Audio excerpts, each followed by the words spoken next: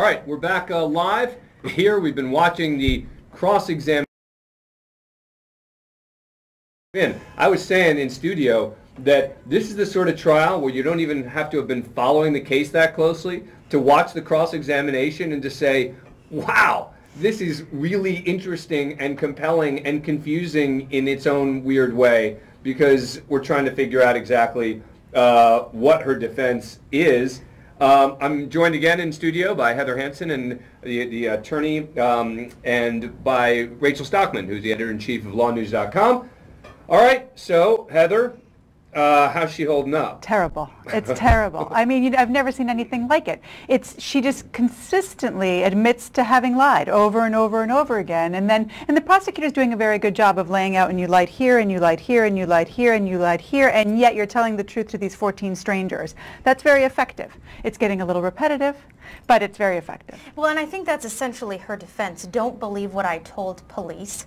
I'm telling you the truth here. But what struck me too uh, during the testimony was her, and, and, this is something the prosecutor brought out in the questioning, is her lack of emotion. Mm -hmm. So she's describing, uh, you know, her husband shooting this guy and then dismembering this guy who apparently she said she was in love with, yet she's not really flinching on the yeah. stand. I, I mean, she's one point when the prosecutor pointed it out, she started tearing up mm -hmm, a little mm-hmm. bit, yeah. but there's absolutely no emotion there when she's going through this. Like, uh, is she, is she on some kind of medication, and, and, and, or is this how she is normally? And, she's admitting that she lied repeatedly to the to detectives, as she has to, and yet there doesn't seem to be any real sense of like, you know, oh, I know this is terrible that I lied. right. um, you know, I feel awful about it. It's it's this sort of like, yo, yo, no, that was a lie. Right. Uh, that, that was, was true. That was a lie. That was a lie too. Yeah, yeah, yeah. And, and so, I mean, right? And it's not just to investigators; it's to her family. One of the things that the, they keep talking about is this goodbye letter that she wrote to her parents, who she apparently loved and had a relatively close relationship with.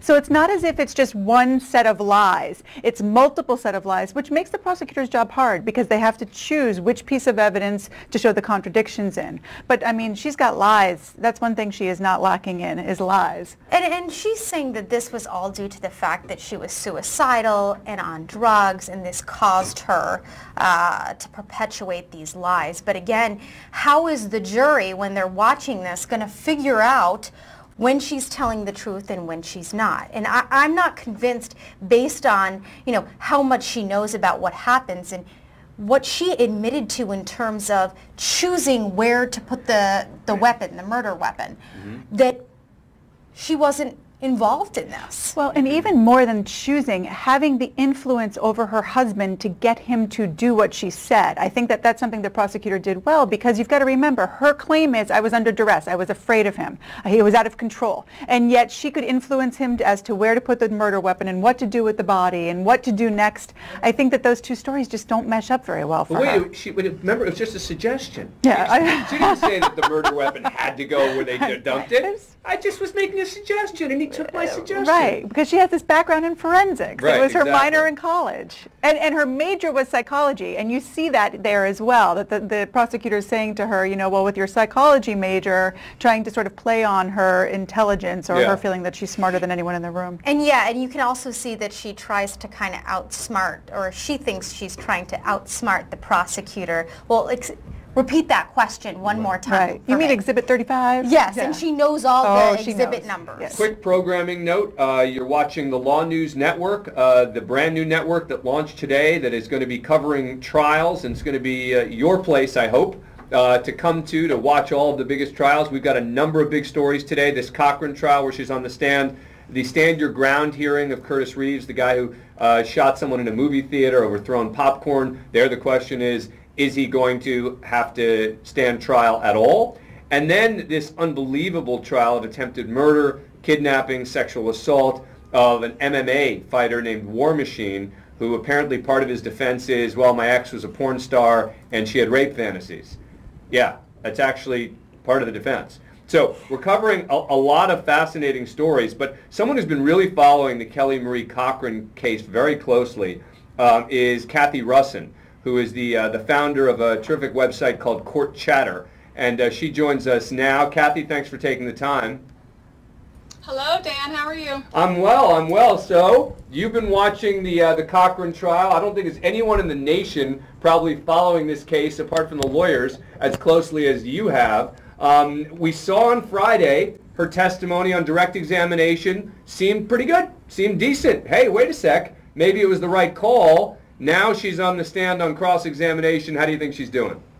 Well, I don't agree that it went so great on Friday. Okay. All right.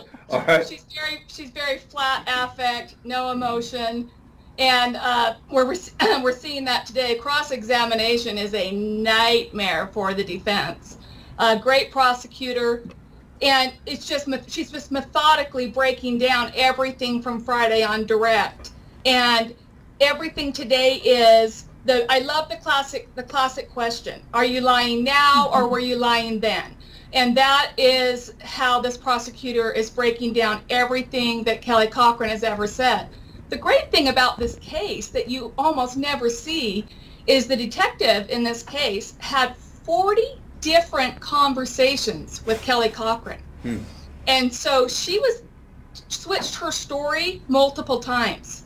And that's what this prosecutor gets to work with, and that's what we're seeing now on cross-examination. And, and, and Heather, that's a symptom of someone who likes to talk, right? Absolutely, absolutely. She likes to talk a little bit too much. And to Cathy's point, the prosecutor is doing a great job because now you've got 40 different stories that you've got to try to simplify for the jury to show where the contradictions are without getting caught up in the weeds. And I think she's done a great job with that. I agree with Cathy. But one, one, one legal point here is that, you know, look, I, I, think her story on the whole is coming across as not that credible. I think we all agree on that.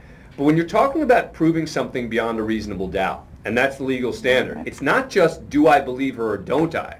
It's do I really not believe her so much that I am convinced beyond a reasonable doubt that it couldn't be the way that she's saying it happened. And, and Rachel, I think that's kind of the best hope here mm-hmm. for the defense is relying on that legal standard. Exactly, and I mean, I think it's very clear that her husband Jason was the one that pulled the trigger. Uh, so now the jurors just have to decide in their mind what role she played in this? Was she, did, you know, was it a panic thing where she's just helping him along the way? Was it premeditated like the prosecutor mm-hmm. said, like they had some kind of pack where they actually lured this guy over? Um, or, you know, uh, was she trying to cover up for her husband? Or is it what she said and that she was fearful of her husband because she had endured years and years of abuse uh, and she felt like she had to do this? So it's interesting what, I, I don't know if I've made up my mind in terms of what role she specifically plays. I think there's enough confusion there that certainly, you know, there's going to be some questions for some of the charges in terms of how the jurors because, interpret and, and. Heather, as you answer that question, also take us through what the charges are are? Oh my gosh, there's a, there's a wide array of charges. Most of them have to do, now when it comes to the homicide charge, the defense of duress, which is really what her defense is uh, as a whole, doesn't apply. So you can't, uh, the judge has already ruled on that in, before the trial started. But we're talking about all kinds of accessory Conspir after the crime. Conspiracy um, to commit, uh, what is it? Charges of conspiracy to commit dead body, dead body, body dismemberment and mutilation, concealing the death of an individual, accessory after the fact, lying to a peace officer, and of course the homicide open murder charge. Right, and so this is why jury charge is going to be so important, Dan, because to your point, they've got to prove each of these beyond a reasonable doubt to each of the jurors. So one juror says, eh, you know, I don't know about whether or not she had the intent to commit homicide. They, you know, the prosecution has not met their burden. Cathy, I'm going to ask you the ultimate question, which is, do you think that the defense regrets calling her to the witness stand? Um, well, we rarely see a defendant on the witness stand for a reason, and I think she's a horrible witness. I think they had to call her. Mm-hmm. Um, I don't think I disagree with Rachel. I don't think this is a hard call at all for the jury. I, her parents were the worst witnesses for her. Her very own parents showed that uh, Kelly's in charge. Kelly was in charge in that relationship, and there is no way that she was afraid of her husband. So you're not, uh, Cathy, so you're not buying into her defense that she suffered years and years of abuse? Not a chance. Why is that? Because she's, it's never been mentioned, and I get with domestic violence that that is usually silent. She never mentioned it. The prosecutor brought that up today, that the first time she ever mentioned Jason was abusive was when these charges came about. Her, both of her parents talked about, um, they, she grew up next door to Jason, so the parents have known Jason th- his whole entire life, talked about what a great guy he was, and what a, um, and they've known the two of them as a couple their whole lives, talked about how Kelly was in charge and wore the pants in that family, and that, um, that's not how Jason was. Cathy, And she had multiple affairs. Cathy, what did you think about the testimony? I think the first witness the defense called was the neighbor who had seen her mowing the lawn with Jason sort of pacing back and forth in tandem with Kelly as she mowed the lawn. Did that have any impact on you? Well, I think that is because now at this point, Kelly's had multiple affairs. And Uh. he is he's now in a mode of non-trust and this is toward the end because he'd been looking at her cell phone a lot. So now maybe we're in just a little bit of a different point in their relationship. But look, she's not afraid of him. She's she's openly, almost openly cheating on him. That's not really an abused woman Right. who's afraid of her husband. I really don't think that these 12 people are stupid, and I don't think this is going to be a hard call on those charges. Uh, Yeah. Go ahead. Oh, yeah, I mean, I, I agree with you that jurors, you know, we, we trust jurors and jurors get it, and they're sitting in the room and seeing the, the body language even better than we are, you know, and, and sort of feeding off of one another's energy. So, you know, I think that you're, unless some sort of uh, star witness expert, medical experts coming up, I think that uh, this prosecutor is doing a darn good job in putting this case together. Agree. Now, what is, uh, do you have any sense of who will be next? I don't. No. As far as I know, they may be ending with her. Yeah, I, I, we were talking about that during during um, some of the testimony as to whether or not the prosecutor would, uh, I mean, the defense rather would call some sort of an expert to maybe address the fact, as you brought up, of this really blunt affect where she doesn't smile and she doesn't cry, and to give some explanation for that, because I can't imagine that any jury, just as we watching, have any sympathy for this woman, based in large part on the fact that she just doesn't respond. So I'm wondering if that might be their uh, last hope, is to call some sort of expert to address this.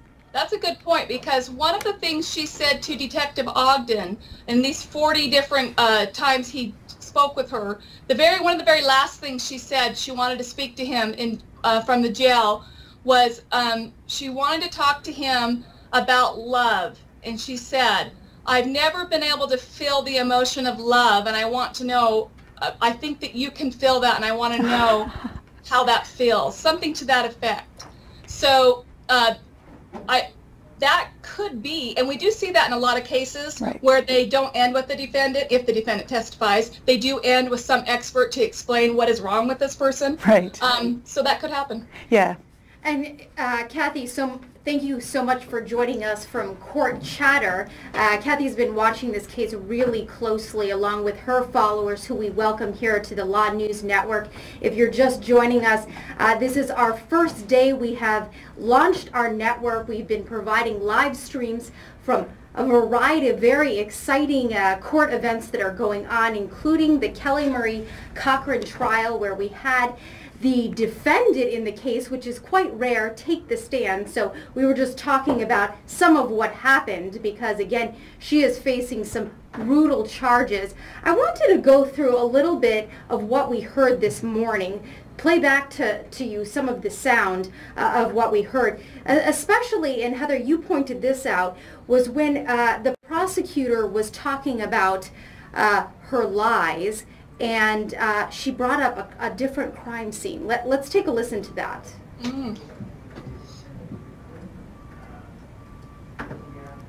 spot for where the car should be parked. I suggested it, yes. And your training and, foren- and experience in forensics told you it would be a bad idea to put the car near the crime scene, right? I wanted it to be found.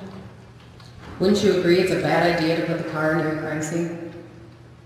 A bad idea to do what? To put the car near the crime scene? I have no clue. No, your training and experience in forensics doesn't tell you it's a bad idea to put a car near a crime scene? Where do you consider the crime scene? Your house? I put. Are you telling us there's another crime scene? No, Because I'd, I'd be interested in hearing that if there is. no. So did you tell Chief Frizzo that you took Chris's car keys and put them into a soda cup from the gas station and threw it into the trash? I did tell her that. Okay. So, accurate or a? That was a lie. Why would you lie about that? 'Cause I lied about a lot of things. Why lie about something Is it insignificant as putting the keys in a soda can or in the trash? Why lie about any of it? Well, that's what we want to know from you today. So why don't you tell us? I wanted to be made to be seen as this horrible person, this monster, because I felt guilty that Chris was.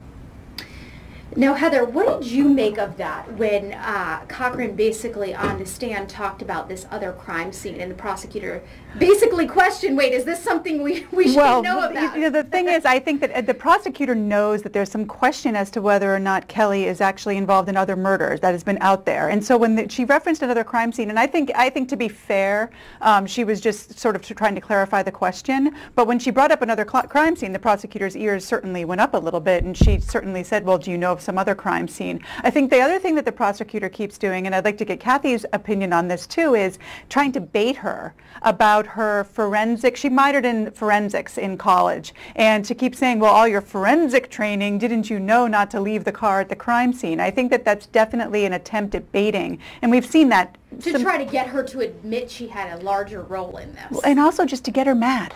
You know, just to get her thinking like, you know, if you're so smart, why, and you did all this studying on this stuff at school, why didn't you do a better job in hiding the body? And I think she's trying to bait her a little bit into, into showing some um, angry emotion. Cathy, do you agree? Do you think it's working? Well, Kelly, as many other defendants, thinks she's the smartest person in that room. And uh, she talked about taking a forensics course and now backpedals and, and says things like, well, we didn't really talk about the part about cleaning up blood at the scene. And the prosecutor says, uh, you talked about reading this entire book, the entire book. Well, I don't think we read the chap the chapters on cleaning up blood at a scene, and the whole thing is like this backpedal, go forward, backpedal, go forward, and she and she smirks. So Kelly, I talk about her having a flat affect, and the whole time she's like this, she's kicked back, almost like this on the stand, and having no emotion, none. But then all of a sudden she'll have a little smirk and a little smile go up at the prosecutor. None of that is working in her favor for that jury. Trust me on that and none, no emotion. Remember how much she loves Chris Regan? Remember how much she cares for him and the feelings she has? Uh, yeah, none of that's coming through when she's talking about uh, the cutting up of his body and murdering him. Right, and there was a specific interaction where the state asks her about the lack of emotion, uh, and she said, the state asked, the prosecutor asked, was it horrifying watching your husband kill Chris? Uh, and she responds, watching him up was hor- watching him get cut up was horrifying as if you know this actual the actual shooting which she said she didn't see uh, was not horrifying but okay once we started getting to the point where where her husband Chopping was his body, dismembering yeah, a body that's when all of a sudden uh, she felt emotion about it And then she also talked about these things are easier to do than to say, which was which was some uh, an area where the prosecutor played some cat, cat and mouse with her. But you know, she definitely um, there's something mentally going on. I mean, I don't know that it's anything that ha- it gives us any excuse whatsoever for this. But there's I, if the if the defense doesn't call someone to explain this lack of affect, this lack of remorse, lack of emotion, I think that they've left a big part of this puzzle un, unmet. Well, that's going to be the one thing. So this is what we know about juries. This is at least what I know about juries in all of these cases I've covered is they will look for a mental problem. They'll look for a mental health problem, at least enough to want to talk about it. And she is showing no emotion at all about this. And um, there might be, I don't know the backgrounds of these jurors. There might be someone in their family with a mental health problem, something like that. We all know that they bring their personal lives into that jury room. Um, so that could be the only thing working in Kelly's favor is that she is a whack job up there on that, stand, and that could give them some pause maybe in some of those I- charges. I, I don't know, Cathy, if I totally agree with you, because perhaps it could even show that she is this cold-blooded uh, serial killer that the prosecution is making her out to be potentially. But Um, we do know that jurors um, do tend to have a little, little more sympathy for females than males. Right. Yeah, and, and if and you know if any one of the jurors buys this battered woman thing, and I think Cathy, your points about the fact that this is a, a, a, totally new allegation with very little evidence about it, but if one juror buys that, and then there's someone to sort of put into place this idea of a mental health problem, it may be enough. And I, and I don't think, I mean, you know, Dan talked about the number of charges against her. I don't think Kelly walks with a with free from any conviction on any of these charges. I think the attempt here is to just mitigate as much as she possibly can and in the hopes that maybe it will be less time for her. Absolutely, and I think that is at this point, uh, because she had such a brutal day uh, on the stand, that perhaps that is her only hope in, in, in terms of when it gets to the jurors. Cathy, if you're her lawyer, what are you what are you thinking about for redirect? I don't know. Um, I think I think you uh, you have to go back to the abuse. Yep. And how that felt, and um, being scared, yep. and how much you did feel for Chris Regan and you're going to have to end with the abuse. That's yeah. really all they have. Yeah, I think you're right. And again, you know, it is plausible, like you've been saying, that they bring on an expert witness who talks about how a lot of times that women who undergo this kind of abuse that she claims mm-hmm. to have undergone, um, you know, don't report it right away and don't call the cops right away. And so, don't talk about it, right? And don't talk about it. Again, uh, I think the leap between all between that and all of the lies she told detectives, uh, I think that's going to be a hard bridge for the defense to overcome, but it's possible. Yeah, there's going to have to be some sort of claim of dissociation that she was just not even with it. But didn't she volunteer at a domestic violence um, she place? Did. So that could also, again, an expert could potentially say that that was a way of her talking about it with others without having to actually tell her own story. So, I mean, maybe that will play into um, the defense The, the interesting thing is going to be what happens after she's done testifying. I think that, you know, the one thing that I, I think, and Cathy, I'd like to get your opinion on this as well. Browse. Uh, it is uh, State of Nevada versus War Machine. Uh, and, and, again, this is his legal yep. name. He was a professional fighter, and in 2008 he changed his name to War Machine. He's facing all sorts of charges, 32 felony counts, uh, including sexual assault, uh, rape, attempted murder. Uh, so we are on standby and we have a reporter uh, who's going to be joining us shortly from Las Vegas who's going to kind of walk us through that case just a bit. But